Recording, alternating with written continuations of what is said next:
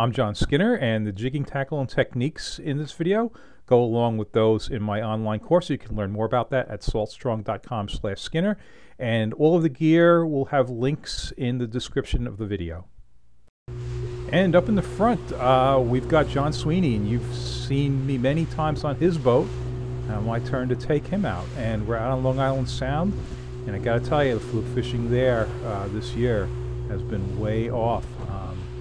But we're going to go work some structure and, uh, and try for some fluke. But um, the real highlight of this trip uh, will be all of the big sea bass. Hey, that's what we're doing. We're going to work this peak um, up the slope, over the peak, down the slope. And, um, you know, sea bass season is opening in New York uh, right around the time you're watching this, if you're watching this soon after it was posted.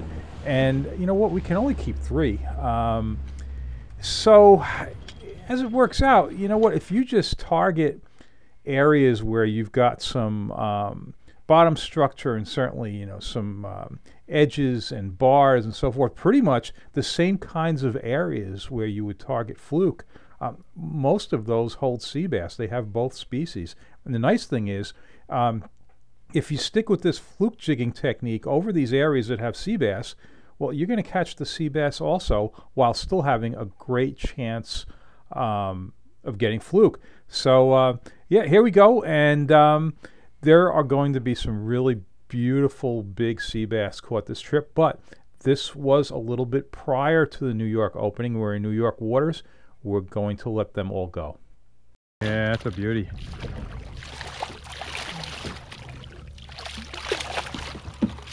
Mm.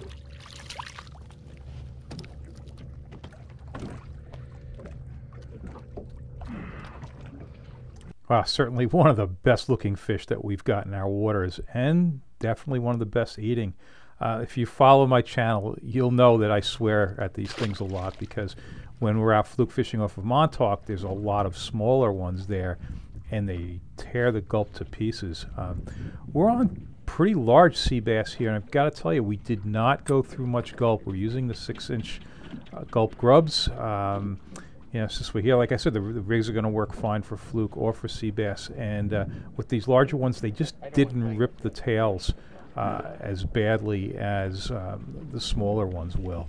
So it, it, seems to be a good approach. You know what? If these, if the sea bass are really tearing the tails off, then a great thing to do is leave the gulp stub on and um, put something like an otter tail bait strip. That's a um, I, I, like the curly one, and that's got a lot of action. So basically, you'll have the scent of having a gulp grub on, and um, you'll have the action provided by the otter tail bait strip. And, and otter tail, for those who don't know, it has nothing to do with otters. Uh, that's the brand, and I'll put a link in the video description. Ooh, another big sea bass.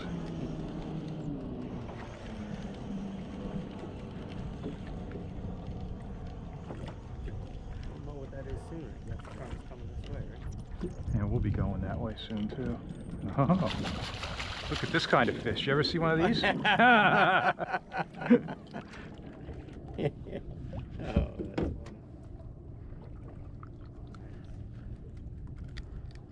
All right.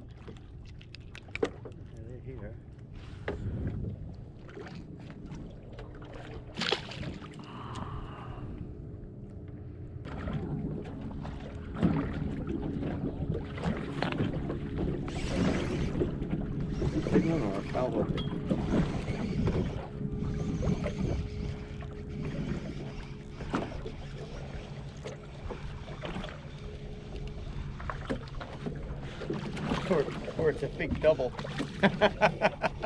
you all right? You good? Yeah, yeah, I'm good, yeah.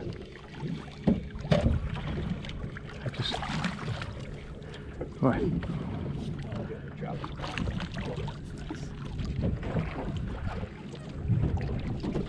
What? Well, they are thick down there. Big double head. Now we're targeting fluke here. We're you're hoping to catch fluke. If we were, um, if the season was open and um, I came out here and wanted to target the sea bass, and, and get my three out of the way. Uh, I would tend to go to some of the deeper spots where there's more structure, and that's actually not even far off this. I mean, when I was running up at the beginning of the video, you saw that peak.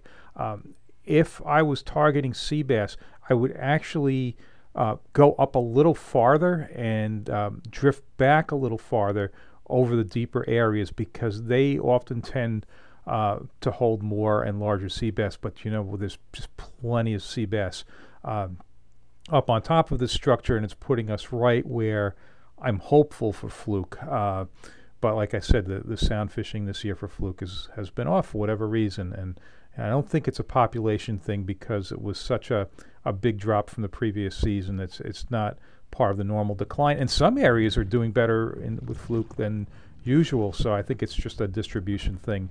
Uh, I know there's a lot of sand eels out in the ocean. Maybe the fish stayed on the sand eels. But uh, well, we're going to have some fun with these things. Now, this has got to be a fluke. Oh, yeah? Yeah. Small, but it's a fluke. All right, that's good. I'll, I'll be pretty ashamed if it's not.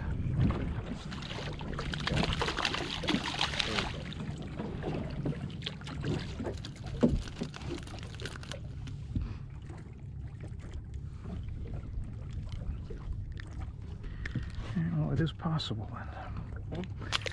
You know, having caught a couple gives me a little more confidence that they're. Mm-hmm. Yeah. If you can catch a couple small ones, well, Yep. it could be a big one out here. And this particular spot is not a high number spot for fluke. It's more of a quality over quantity kind of area. Um, with there not being a lot in the sound, um, I just opted for a spot that, you know, if we do get some, maybe we could get a big one. So that was the approach here. Um, and the sea bass are certainly uh, a, welcome addition to the, the fluke that we did catch. It just turned into dead weight. it could be. No, color's wrong. Uh, is it a double? Nah. Look at that. just chose the, the, the fight side. Ooh, oh, that was some hit. Oh, yeah? Hmm. Wow, he really clobbered that.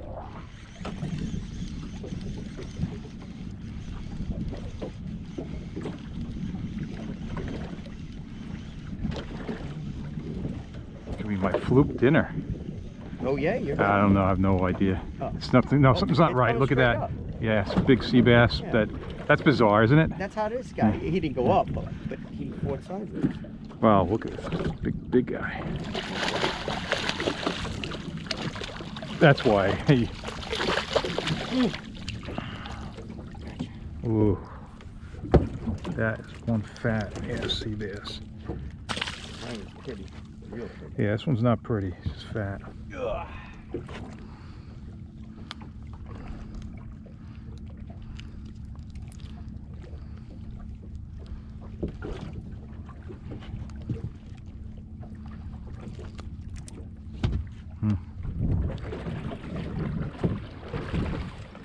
Back up we go. So a good reason to target sea bass this way, uh, besides the fact that it also catches fluke, is that uh, this will cull out larger fish.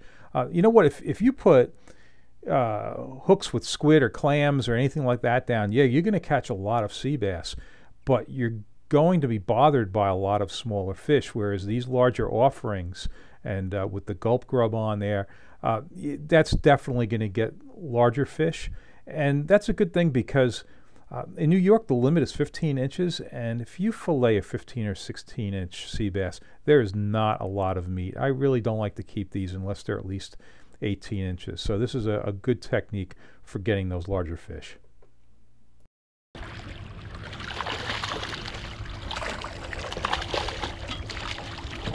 Ooh, got me another jumbo here.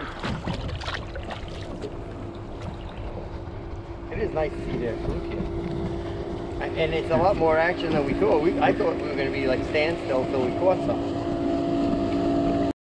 So this isn't very deep. It's like 30 to 50 feet.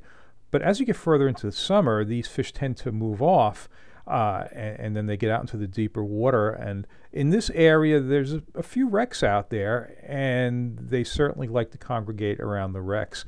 And uh, a smart thing to do is use this same technique to jig around the wrecks because there aren't many, but there are some very big fluke that will hang around the same structure. So hey, while you're uh, sea bassing, you know why not give yourself a, a shot at a doormat fluke? And uh, certainly, I'll be doing that in the summer as uh, the waters get warmer and the fish move off.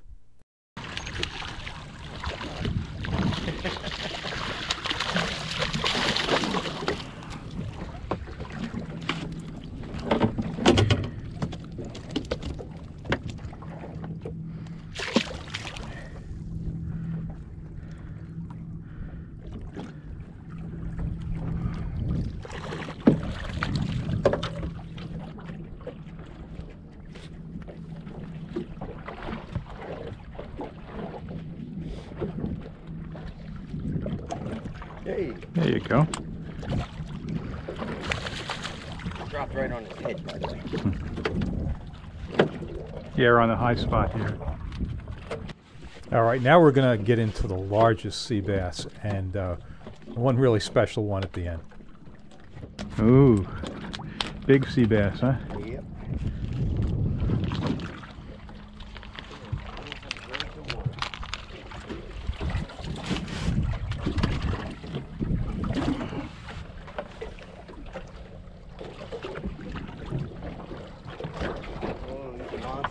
Whoa, that's a beauty. Yeah, yeah. Jeez. Yeah, it's pool, pool sea bass. Wow. And yeah, look at him curled up. You know, he was just dragging the water. Yeah. Look at his mouth on. Look at the bump on his head. Yeah, wow.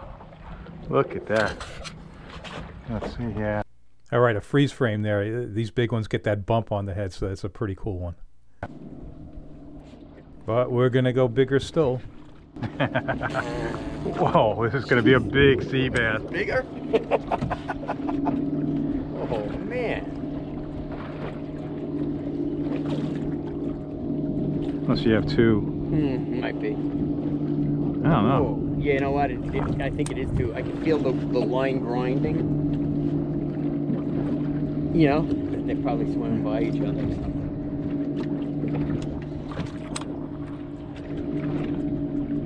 No, it's oh my. That is like the that that is like the biggest sea bass I've ever seen. Holy crap! It's like tuna fishing. All right, I, I'm gonna actually, if he, if he gets in the boat, which he will, mm-hmm. yeah.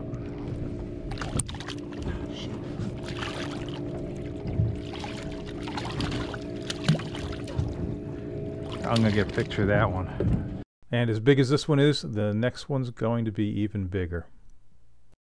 Okay, this is a couple of days later, and up in the bow, uh, we've got my daughter, Dr. Katie Skinner, who a few days before this got her PhD in robotics. So I've got her out in the waves, uh, hoping to catch her a fish.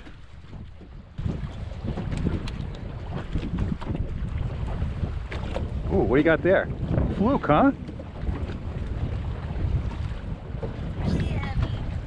Not a sea robin, I don't think. I don't think it's a fluke either. Oh, you know what? Maybe a sea bass.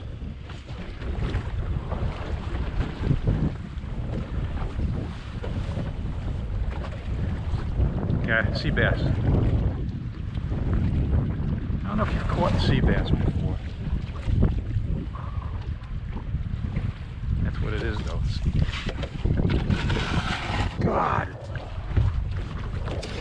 That is the that is one of the biggest ones I've ever seen. Wow. Oh, what a beautiful picture that's going to make.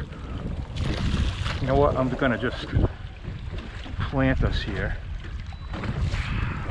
Wow. That is, I've never caught one that big. Oh, yeah, I've definitely never caught one that big. Uh, that's giant. So uh, I was real happy to see her get that. And if you like these videos, please subscribe. There he goes.